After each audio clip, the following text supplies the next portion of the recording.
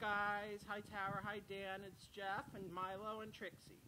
And we've been playing, but now it's time for Trixie to show you some tricks. All right, come here, Trixie. Trixie, look. Come here. Look what I have. Trixie, sit. Up. Trixie, sit. Sit. Trixie, sit. Sit. Good girl. All right, let's try one see if you can do this one. Trixie, down. Trixie, down. No, not your tail. Come on, focus. Trixie, down. Trixie. Trixie, sit. Trixie, down. Down.